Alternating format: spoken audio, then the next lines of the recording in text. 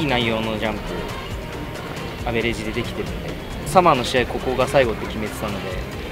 なんすごく冬に向けてあのいいステップを踏めたかなもう毎シーズン変わらずにあの本当にワールドカップ一生目指してぜひ2本見てほしかったですけどまたリベンジして見に来てもらえればいいですね。